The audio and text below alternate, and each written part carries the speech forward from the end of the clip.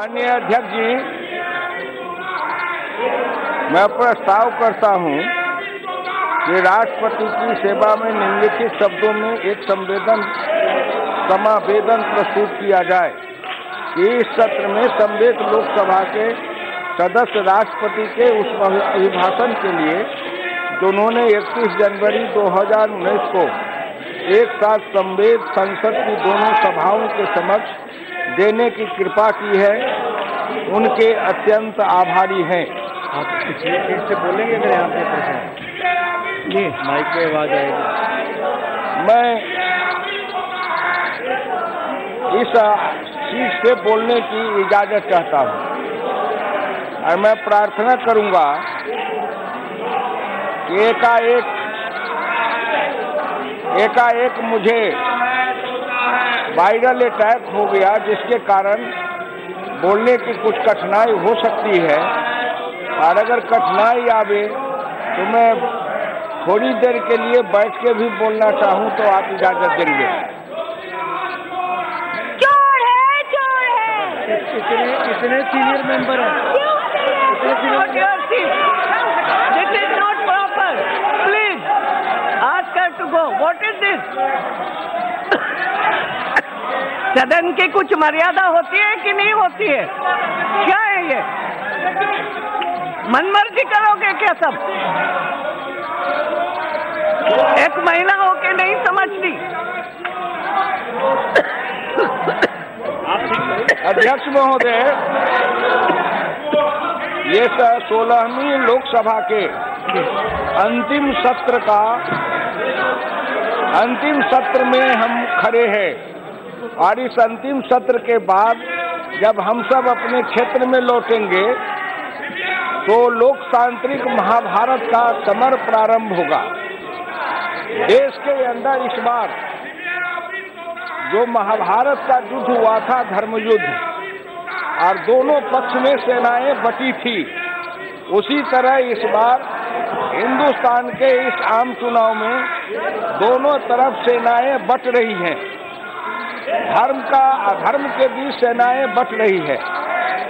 एक तरफ़ जब राष्ट्रपति जी अपने अभिभाषण को प्रारंभ करते हैं तो वो शुरू ही करते हैं कि मुझे इस बात की खुशी है कि हमारा देश गांधी जी के सपनों के अनुरूप नैतिकता पर आधारित समावेशी समाज का निर्माण कर रहा है। हमारा देश बाबा साहब डॉक्टर भीमराव अंबेडकर द्वारा संविधान में दिए गए सामाजिक और आर्थिक न्याय के आदर्शों के साथ आगे बढ़ रहा है। मेरी सरकार के प्रयासों में शोषण की राजनीति के विरुद्ध जन चेतना की मशाल जलाने वाले डॉक्टर राम मनोहर लोहिया के समानता पर आधारित समाज के प्रति आस्था स्पष्ट दिखाई देती है। प्रारंभ में ही ऐसा कहा गया कि गांधी अंबेडकर और लोहिया के सपनों को साकार करने का लक्ष्य इस सरकार का है। गांधी भी उनकी दृष्टि थी कि समाज के सबसे जो कमज़ोर हैं, उसको बजट का अधिक से अधिक हिस्सा जाए। पंडित जवाहरलाल नेहरू से महात्मा गांधी ने कहा था कि तुम्हारे बजट की सफलता को मैं इस दृष्टि से देखूँगा कि तुम्हारे बजट की राशि सबसे निर्धन निर्बल जो है उसके उसके पास में कितना जा रहा है। अंबेडकर जी ने यही देखा था कि सामाजिक क्रांति हो और समाज के सबसे निर्धन निर्बल कमज़ोर वर्ग के हैं, उन्हें भी समाज में सम्मान के साथ जीने का अधिकार मिले। डॉक्टर लोहिया ने समानता की बात की थी। समानता की सब में समानता आए, ऊंच नीच का भेद न हो, अमीर गरीब का भेद न हो, और सब बराबर होके समानता हो और पिछड़े वर्गों के मसीहा के रूप में उन्होंने इस देश में क्रांति की थी। एक तरफ़ हम राष्ट्रपिता महात्मा गांधी, दूसरे तरफ़ दलितों के उद्धारक अंबेडकर तीसरे तरफ़ पिछड़े वर्गों के मसीहा डॉक्टर राम मनोहर लोहिया को याद करते हुए इस बजट को प्रारंभ किया गया है। इसलिए मैं महामहिम राष्ट्रपति जी को धन्यवाद देता हूँ कि उन्होंने इन तीन महात्माओं को याद किया है। लोहिया जी की बात को इन्होंने कहा है तो मैं लोहिया जी के समानता की बात मैं कुछ आपको उद्धृत करना चाहता हूँ। लोकसभा में 16 मार्च उन्नीस सौ पैंसठ को बहस करते हुए डॉक्टर लोहिया ने कहा था, समाजवाद हर किसी अन्य सिद्धांत की तरह एक होता है तो एक होता है तुक्का, एक होता है सगुण, एक होता है निर्गुण एक होता है सिद्धांत, एक होता है कार्यक्रम। समाजवाद से एक सीढ़ी नीचे उतरो, उस सीढ़ी का नाम है बराबरी। उस बराबरी से एक सीढ़ी नीचे उतरो। ये है महत्वपूर्ण। जो हिंदुस्तान के सभी गाँव, गरीब, किसान मजदूरों को समझना चाहिए। उन्होंने कहा, आर्थिक बराबरी, सामाजिक बराबरी, राजकीय बराबरी, धार्मिक बराबरी और एक सीढ़ी नीचे उतरो, तब उसके बाद आएगी समता, संपूर्ण समता, संभव समता। डॉक्टर लोहिया ने आर्थिक बराबरी, सामाजिक बराबरी, राजकीय बराबरी, धार्मिक बराबरी, इन शब्दों का इस्तेमाल किया था। डॉक्टर लोहिया तो समाजवादी थे, लेकिन समाजवादी होने के नाते फिर किस धार्मिक बराबरी की बात उन्होंने की थी?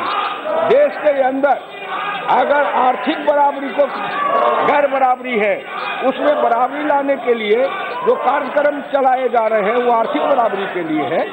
आज आर्थिक दृष्टिकोण से जो गरीब, निर्धन, निर्बल नीचे है, उसको ऊपर उठाने के लिए सरकार की योजनाएँ चलती है। क्या ये जनधन योजना निर्धन, निर्बल गरीबों को ऊपर उठाने के लिए नहीं है? आज हिंदुस्तान के अंदर चौंतीस करोड़ जनधन खाता के, जनधन खाता खुले हैं। और उसमें लगभग चौरासी, पचासी हज़ार करोड़ रुपया गाँव के गरीब मजदूर किसानों ने जमा किया है। आज गाँव की एक गरीबनी माता है, जिनके पास में दस पाँच रुपए नहीं थे, उन्होंने भी ज़ीरो बैलेंस पर अपने खाता को बैंक में खोला है। और दुनिया के अंदर जितने खाता खुले हैं बैंक में, उसमें से लगभग पचपन प्रतिशत खाता केवल हिंदुस्तान के लोगों ने खोला है। आज भारत की शोर बढ़ रहा है कि ज़्यादा से ज़्यादा लोग बचत करें। उस बचत से हिंदुस्तान का कल्याण हो। हिंदुस्तान के कोष में पैसा जाए, जिससे गाँव गरीब किसानों के लिए काम किया जाए। इसी के आर्थिक बराबरी को कम करने के लिए ही, मिटाने के लिए ही, ये सुलभ शौचालय जो बन रहे हैं घर घर में जो शौचालय बनाए जा रहे हैं, किस लिए बनाए जा रहे हैं? जमीनों के घर में, एक घर में पाँच पाँच सात सात शौचालय होते हैं। और जितना बड़ा उनका बाथरूम होता है, अध्यक्ष महोदय, उतना बड़ा उन गरीबों का घर भी नहीं होता है। इसलिए मैं प्रधानमंत्री जी को धन्यवाद देना चाहता हूँ कि निर्धन, निर्बल गरीब, जहाँ की गरीबनी माताएँ सोच के लिए कष्ट उठाती रहती थी, उनके लिए सोच बनाया है। और आज हिंदुस्तान के अंदर अंठानवे प्रतिशत घरों में जो सोच बना है, इससे किसका लाभ है? एक तरफ़ आर्थिक गैर बराबरी को मिटाने का काम है तो दूसरे तरफ़ सामाजिक गैर बराबरी को भी मिटाने का काम है। इन योजनाओं के कारण हिंदुस्तान के जो बड़े लोग हैं, संपन्न हैं, समृद्ध हैं, संपन्न, सामंत हैं, उनके कलेजे में आग लगती है कि गाँव की इन गरीब, दलित, पिछड़े, गरीबों की महिलाएँ सोच के लिए बाहर जाती थी, उसी समय उनके साथ ज़्यादा छेड़खानी होती थी। उन बड़े लोगों के मन में इस बात का आग लगी है कि नरेंद्र मोदी आज हिंदुस्तान में उन गरीबों के घर में शौचालय बना के, ये समृद्ध और सामंत लोगों के बराबरी में उनको खड़ा करना चाह रहे हैं इसे उनके कलेजे में आग लग रही है।